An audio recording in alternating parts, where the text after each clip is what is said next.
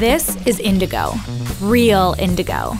Jeans, they're dyed from a chemical, but real indigo, straight from the plant, has its roots in samurai culture, and it's highly prized in Japan. Yep, this story is all about the real color blue. But it's not as dull as it sounds.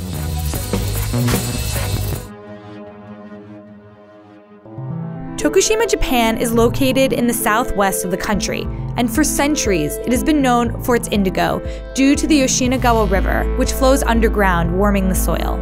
Indigo started gaining popularity in the early 1600s and was commonly used by samurais. それを藍染めすることによって糸は丈夫になるそれから匂いも消す This is Osamu Nii.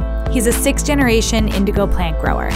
鎧の下にですね藍の色があるんですけど藍染めのそういうのを身につけてもし怪我した時でも切り傷でも可能しないとか抗菌作用があるんですよね Real indigo was also used for firefighters' clothing because it's flame retardant, up to 1500 degrees Fahrenheit. To produce indigo ink, the leaves must be harvested and then dried in the sun, and flipped repeatedly with a broom until they turn a navy hue. 約1年かけて作る染料ですね Because of this, Osamu is one of the last five indigo growers in the region. The practice is time consuming and labor intensive, so former growers have turned to cheaper chemical alternatives. But the thing is, with real indigo, the color you can achieve is unparalleled. This is Toshiharu Furusho. He's a fabric dyer. 色合いの違いは染めた時一番綺麗のが化学染料で 染めてしばらくして綺麗のが藍染めの方ですね。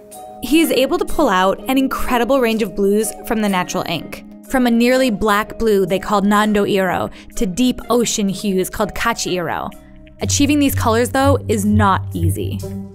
時間がもうめちゃくちゃかかるんですよね染め上げるのにだから一つ出来上がるのに10日ぐらいかかる10日以上 His commitment to his craft can be seen in his hands.